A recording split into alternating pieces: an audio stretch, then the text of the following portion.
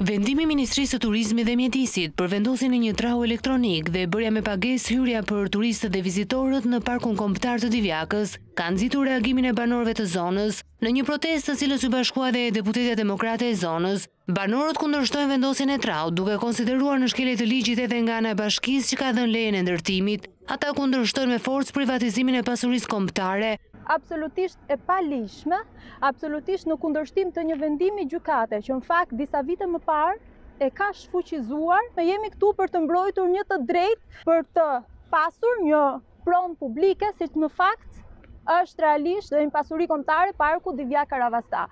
Nuk do të lejojmë vendosjen e një trau elektronik që e kthen këtë park nga pasuri publike në pasuri private të pushtetit dhe të qeverisë aktuale. E ka uzurpur gjithë vendin edhe kjo edhe kjo që ka ngelur pa u prekur edhe këtë do ta uzurpojë. Prandaj jemi të gjithë bashkë që mos i shkojnë mend këtij se janë përpëlitjet e fundit të këtij pushteti kriminal që e ka çur popullin, e ka zbrazur popullin shqiptar, ka ngelur vetëm vetëm pleqëri e ka ngelur. Mos futesh i lirë në park, ku ka vend tjetër më në zona jonë? Se gjithë Shqipërinë e kanë e kanë zaptur këta. Edhe ky vend që ka ngelur këtu duan ta zaptojnë dhe këtë edhe pastaj të ngremë duart dhe ti që t'ia lëmë këtyre këtyre kriminelëve. Vendosja e traut me pagesë do të cenonte edhe bizneset që operojnë në këtë zonë, të cilët thonë se do e mbrojnë me çdo kusht pasurinë e qytetarëve, për mirëmbajtjen e së cilës kontribuojnë vazhdimisht.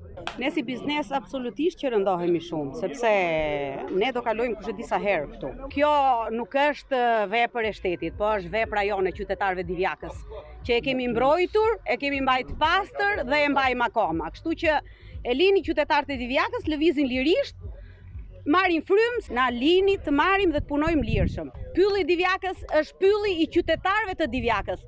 Është vepër e natyrës, jo e shtetit, kështu që na e lini ta shijojmë. Edhe më herët banorët kanë kundërshtuar hyrjen me pagesë në Parkun e Divjakës, duke cilësuar këtë një vendim për privatizimin e pronave shtetërore.